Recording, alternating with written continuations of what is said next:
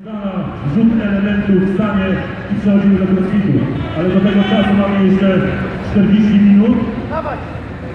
Jeszcze raz brawo dla Krzyśka Szymańskiego, proszę Państwa.